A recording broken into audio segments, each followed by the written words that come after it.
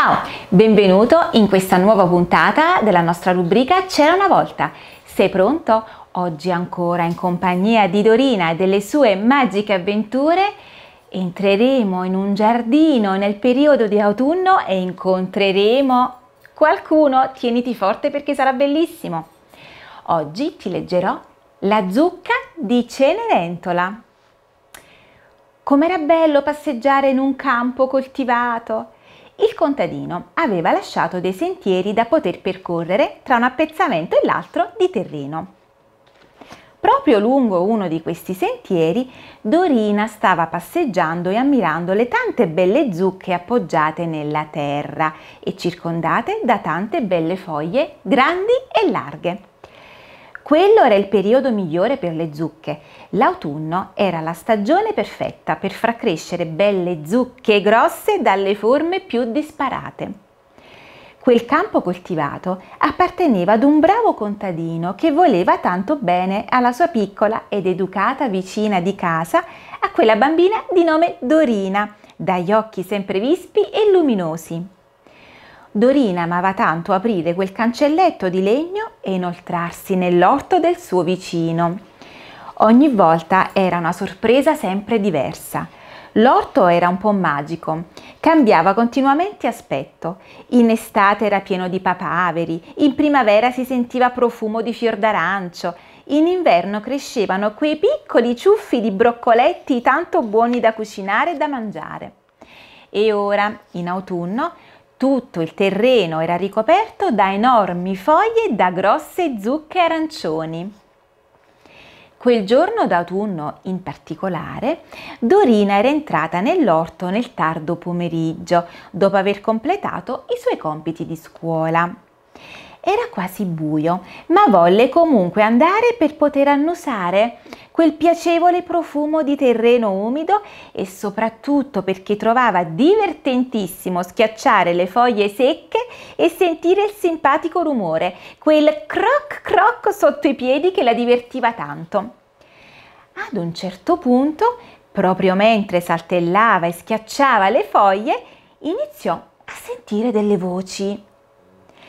E proprio qui, stai tranquilla, ne troveremo una bella grossa. Poi una voce diversa. Ti prego non correre così, non ce la faremo mai, ormai il ballo starà per iniziare. Oh, come sono sfortunata, oh, povera me. Ma per favore, devi essere ottimista. Sarò pure una fata smemorina, ma sono pur sempre una fata. Per me tutto è possibile, devi solo crederci. Oh, povera me, come sono fortunate le mie sorellastre. Ora basta Cenerentola, abbi fiducia in me, anche tu avrai la tua carrozza. Dici davvero? Devo solo crederci. D'accordo, fata smemorina, voglio crederci. Forza, cerchiamo la zucca più grande che c'è.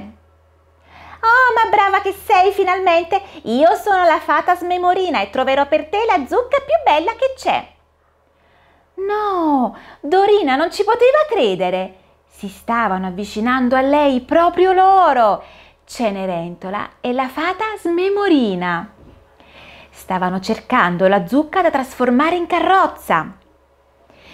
Ehi, ma chi c'era lì? Chi era mai quel topolino che seguiva Cenerentola?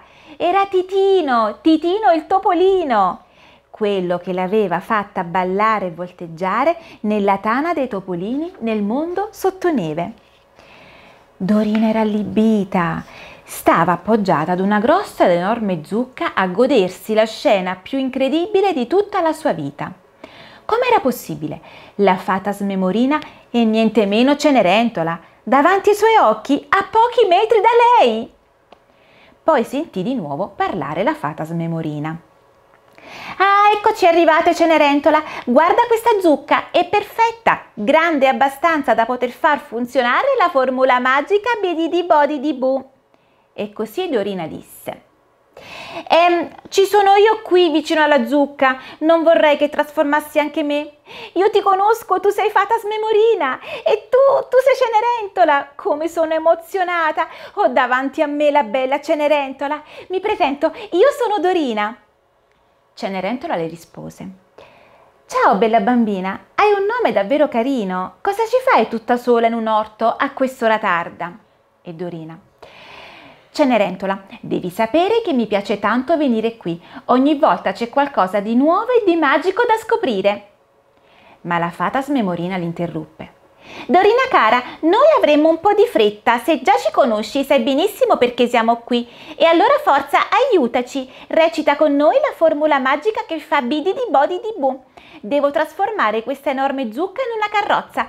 E poi, e, ehi, e Titino, dove sei? Titino, corri qui! Il topolino si era avvicinato alla fata, ma quando aveva visto Dorina iniziò a saltellarle intorno, così felice che quasi non riusciva a fermarsi ed esclamò Dorina, Dorina, Dorina che emozione! La mia cara Dorina, ricordi quando eri minuscola come me e hai ballato con me nel mondo sottoneve? E la fata smemorina ma voi mi conoscete molto bene, allora sono sicura che ora la magia funzionerà ancora di più. Se anche tu Dorina credi nella magia, allora la zucca davvero diventerà una carrozza e il piccolo Titino sarà l'elegantissimo cocchiere che condurrà Cenerentola al gran ballo di corte. E Cenerentola disse, pronunciamo la formula. Bella Dorina, vieni qui accanto a me. Se credi nella magia anche tu, devi pronunciare la formula con me. Aiutami. E così Dorina si avvicinò alla bella Cenerentola che però era ancora vestita con un abito strappato. La fata esclamò Eccoci, siamo tutti pronti, la zucca è pronta, Titino è pronto, via, con impegno, bidi di bodi di bu. Ancora, bidi di bodi di bu. Magia! Tutto intorno brillavano tante lucciole colorate e tutto sembrava girare velocemente. Improvvisamente la zucca si trasformò e divenne una meravigliosa carrozza. Titino iniziò a piroettare nell'aria e divenne un elegante cocchiere in livrea. Per magia si materializzarono anche i cavalli ed infine magia! Cenerentola si trasformò nella ragazza più elegante che si fosse mai vista un abito sontuoso color azzurro come il cielo, un diamante al collo preziosissimo e luccicante e ai piedi delle meravigliose scarpette di cristallo. Dorina era estasiata. A bocca aperta ammirava tutto, i suoi occhi brillavano come due stelle. Ancora una volta stava vivendo un'esperienza indimenticabile. La fata invitò Cenerentola a salire in carrozza e le disse Forza Cenerentola, il principe ti aspetta, sarai tu la più bella al ballo. E così dicendo, la carrozza iniziò a muoversi. Titino si era trasformato in un cocchiere molto attento e i cavalli lo ascoltarono subito non appena diede loro l'ordine di muoversi al trotto. La zucca carrozza partì immediatamente di gran lena. Cenerentola si affacciò dal finestrino e con la sua bella mano guantata salutò Dorina dicendo Ciao Dorina, credi sempre nella magia e tutto sarà possibile, ciao! E Dorina Ciao, ciao Cenerentola, è stato un onore per me averti conosciuta, sei bellissima, ciao! Una volta che la carrozza si fu allontanata, anche la fata smemorina salutò Dorina. Ciao bella bambina, io e Cenerentola siamo personaggi delle fiabe, però possiamo apparire ed essere visibili anche agli occhi dei bambini, ma solo di quelli che credono veramente nella magia. Ecco perché oggi ci hai riconosciute. Tu ci credi davvero. Brava Dorina, sei proprio una brava bambina. Ciao! E agitando la sua bacchetta magica, la simpatica fata smemorina svanì dalla vista della bambina.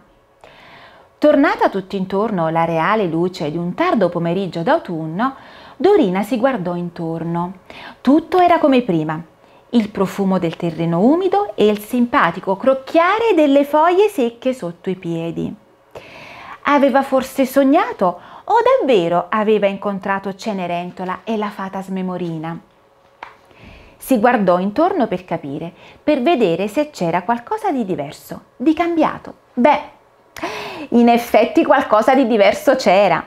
Quell'enorme zucca che prima occupava il terreno, proprio lì vicino ai suoi piedi, non c'era più e al suo posto c'era solo un enorme buco nel terreno umido. era proprio il segno che provava che lì, in quel punto, fino a poco prima, c'era stata una pesantissima zucca, che ora non c'era più. Eh, la magia, la magia l'aveva ancora coinvolta in un'esperienza unica e indimenticabile. Ma ormai era ora di tornare a casa. La sua passeggiata era finita. Doveva tornare a casa perché doveva fare una cosa molto importante.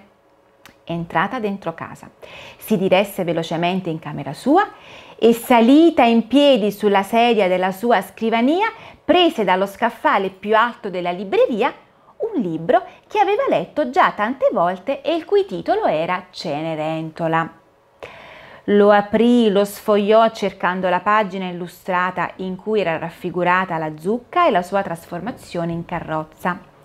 La trovò, trovò quell'illustrazione, scese dalla sedia e si stese sul pavimento per meglio osservare con attenzione quella pagina. In basso a destra, in primo piano, c'era un topolino. Che gioia sapere che quel topolino era Titino. Al centro della pagina c'era Cenerentola in basso a sinistra c'era la fata smemorina con la bacchetta pronta per compiere la magia e in alto, posta in secondo piano, c'era l'enorme zucca. E poi ebbe la conferma che la sua piccola grande avventura nell'orto era davvero avvenuta. In quell'illustrazione, dietro la zucca, si vedeva spuntare di lato un triangolino di stoffa color verde come di un cappottino verde. E già, la sua vita era troppo legata alla magia. Evviva Dorina, sei proprio una brava bambina. Poi, d'improvviso, dalla cucina arrivò la voce della mamma. Dorina, sei tornata e hai lasciato qui sulla sedia il tuo cappottino verde. Vieni a metterlo a posto per favore. Eh, la magia Bene, oggi abbiamo raccontato una favola in cui compare Dorina, ma in cui compaiono anche dei personaggi che tu conosci benissimo, Cenerentola e la fata smemorina.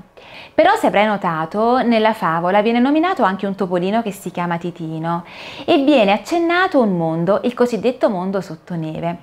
Beh, se sei curioso, io ho parlato di questo mondo sottoneve, ho raccontato di esso in un'altra favola Vuoi sapere qualcosa? Bene, scrivimelo qui sotto il video. Vuoi sapere cos'è il mondo sottoneve? Te lo spiegherò. Fai commentare ai tuoi genitori e ti spiegherò cos'è il mondo sottoneve. Adesso ti saluto e alla prossima puntata. Ciao!